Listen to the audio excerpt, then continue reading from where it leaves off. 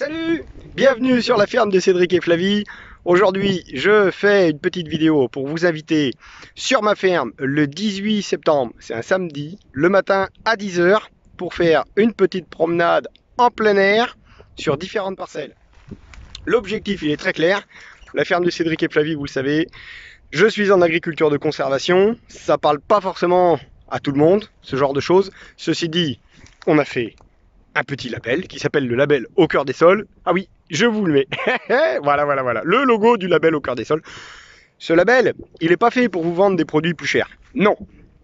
Non, il est fait pour identifier des fermes qui ne travaillent plus la terre. Alors comme on ne travaille pas du tout la terre, nous, on sème toujours des plantes. Parce que le fonctionnement de la nature, il est basé sur deux grands principes. Il y a toujours de l'herbe qui pousse. Tu peux regarder sur le bord des routes. Si tu fais un tas de terre chez toi, il y a toujours de l'herbe qui pousse et c'est toujours des végétaux différents. Voilà, ça c'est les deux principes à respecter et c'est ce qu'on met en place sur, nos fermes. Ceci dit, le 18 septembre à 10h, tour de parcelle. Vous voyez ici un couvert mellifère. Donc euh, ce couvert mellifère, il a été en partie financé par le conseil départemental de la Vendée, parce que les élus nous soutiennent, et ça c'est quand même vachement important, les élus nous soutiennent. Euh, le but d'un couvert mellifère, c'est de nourrir la biodiversité j'ai encore vu aux informations cet après-midi, le 9 septembre, que la biodiversité disparaît. Euh, faut arrêter les conneries. On est capable de la développer, la biodiversité. On est capable de le faire. Nous, les agriculteurs.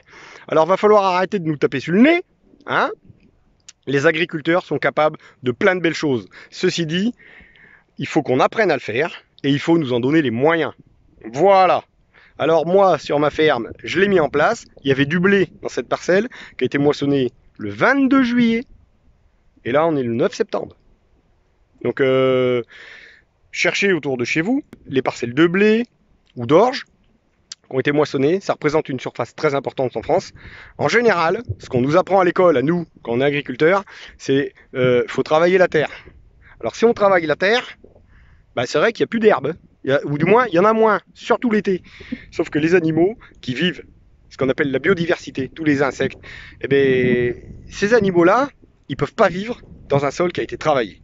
C'est pas possible. C'est quand on a cassé sa maison, ben, enfin nous, quand on a un, tremblement de terre dans une ville ou un ouragan, euh, enfin demandez aux gens qui habitent en Louisiane, euh, aux États-Unis, quand il y a une grande tempête, c'est un peu le bazar, quoi. Les maisons sont cassées. Quand on fait ça sur le sol, c'est exactement pareil. Ça peut plus vivre. Alors ça vit au ralenti, mais ça vit encore. Sauf que quand on arrête de travailler la terre, ah bah là ça explose. Ah bah oui. Allez, je vous mets les petites photos. là, parce que moi je suis pas un grand photographe, je vous mets les photos et puis des petites vues là que j'ai pris de, de mes petits papillons, de mes petites abeilles. Voilà, non, mais c'est gratuit le 18 septembre. Alors n'hésitez pas à venir nombreux pour découvrir ce que c'est que la biodiversité sachant que euh, j'ai fait plein d'essais, voilà, euh, bon, il y en a des, moins bien, il y en a des mieux. Euh, écoutez, venez, parce qu'il y a plein de choses à voir pour vous. Départ à 10h sur la ferme. on va faire 2 heures, 2 heures, 2 heures et demie de promenade, voilà, pour voir ben, les couverts végétaux. On verra aussi des animaux qui sont en engraissement en plein air, hein, et à l'extérieur. Il y a des vaches avec des petits veaux, il y a plein de choses intéressantes. Voilà. N'hésitez pas à venir nombreux. Et puis, euh, eh ben, je vous fais une petite place. Je vous mets mon affiche. Voilà, voilà, voilà l'affiche. Voilà, vous la voyez Si tu es journaliste, surtout si, tu es journaliste dans la presse, euh, Paris Match, quoi. Hein, tant qu'à faire. Nouvelle Ops. Enfin, vois, mais, euh, ou RTL. On prend aussi les journalistes sur nos fermes. Hein. Et si tu es élu, euh, que ce soit au niveau départemental, au niveau régional, au niveau national, alors là, tu es très très bienvenu. Hein. Euh, parce que là, ben, euh, on fait voir des choses quand même qui sont nouvelles. Parce que c'est, c'est, pas des techniques qui se développent énormément. Ben, parce que ça nous coûte de l'argent. Et euh, puis, puis on prend des risques à faire ces conneries-là.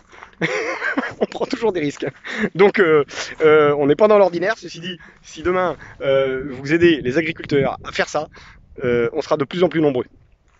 Donc, n'hésitez pas à venir nombreux sur ma ferme le 18 septembre à 10h.